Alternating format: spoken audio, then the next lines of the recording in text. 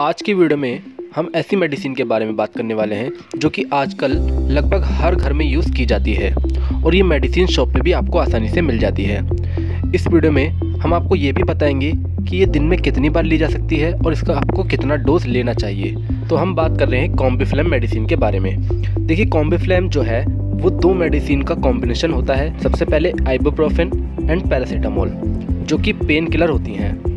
Ibuprofen लगभग इसमें 400 सौ होती है और पैरासीटामोल लगभग 325 mg होती है।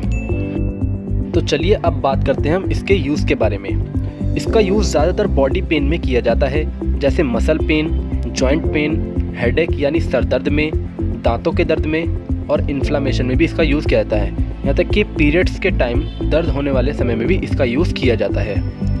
और भी कई सारे कंडीशन में इसका यूज़ किया जाता है। अब हम बात करते हैं इसके डोज के बारे में। यानी ये मेडिसिन आपको कितने डोज में लेनी चाहिए मतलब इसका कितना डोज आपको लेना चाहिए।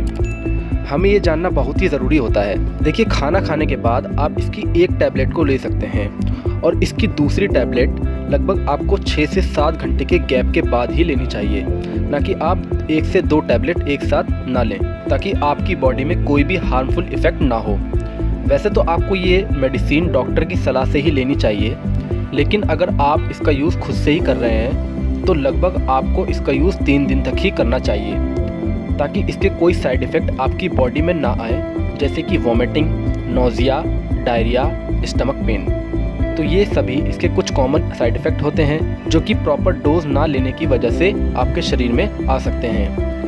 तो कुल मिलाकर ये मेडिसिन आपको डॉक्टर की सलाह से ही लेनी चाहिए। तो दोस्तों, ऐसे ही नॉलेजेबल वीडियो पाने के लिए आप हमारे चैनल को सब्सक्राइब कर सकते हैं ताकि हमारी वीडियो सबसे पहले आप तक पहुँच सके। तो चलिए मिलते हैं नेक्स्ट